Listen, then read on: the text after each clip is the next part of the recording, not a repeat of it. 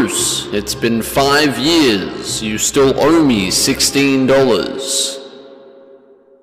Fuck off.